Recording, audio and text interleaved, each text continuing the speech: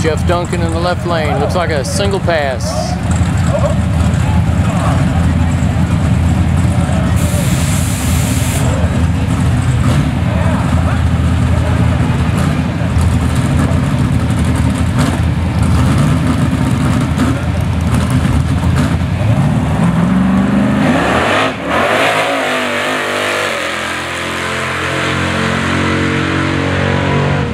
Six oh two.